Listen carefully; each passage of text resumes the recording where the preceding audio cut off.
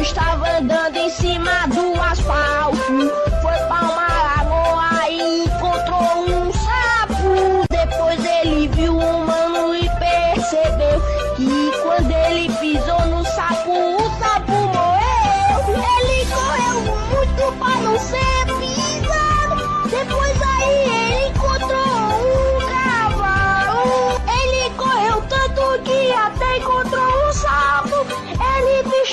sweet